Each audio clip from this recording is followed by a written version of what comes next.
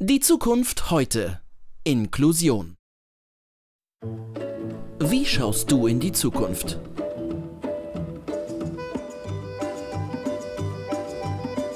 Inklusion ist eine gesellschaftliche Haltung. Sie braucht Bewegung in unseren Köpfen. Dafür arbeitet die Lebenshilfe in Lüneburg und Harburg seit 50 Jahren. Ich wünsche mir, dass die Menschen alle glücklich sind. Ich wünsche mir, dass wir die krasse Aufteilung von Arm und Reich überwinden. Ich möchte der Bestimmer der Welt sein. Ich würde alle Kriege abschaffen. Ich wünsche mir, dass alle Menschen miteinander leben können. Und ich wünsche mir, dass keiner mehr hungern muss. Dass man die Leute von Rollstuhl mithilft, wenn sie nicht klarkommen.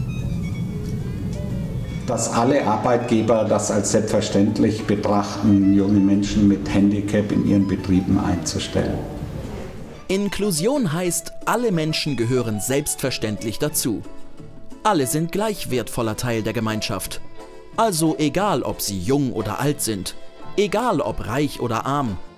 425 Menschen nutzen die verschiedenen Wohnangebote. 1786 Menschen mit Behinderung nutzen die Einrichtungen und Dienste. 908 hauptamtliche Mitarbeiter hat die Lebenshilfe. 896 Menschen mit Handicap arbeiten hier 80 davon in Betrieben des allgemeinen Arbeitsmarktes. Es ist schon viel erreicht, viel mehr als viele denken, doch da ist noch eine Menge Luft nach oben. Wenn alle mit anpacken, alle mitdenken, alle es wollen, dann kann es gelingen.